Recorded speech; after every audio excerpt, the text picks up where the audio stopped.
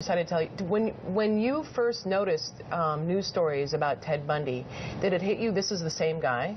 Mm-hmm. Yeah, and, and I knew it was the same guy, and I felt guilty. I felt like it was my fault that those other women had died, and I felt guilty for not coming forward. But I didn't know of, of a reason to come forward because all it would do was put me in the spotlight and and you didn't want to and, in and the make me spotlight. Tell people what had happened. And I, you know, There was one other survivor too, a woman who escaped, right? yeah, yes, it was Carol DaRonch.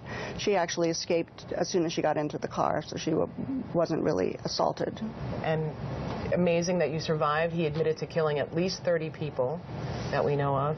I can't uh, thank you enough for telling your story. I want to tell folks again the book of the the book is titled I Survived Ted Bundy.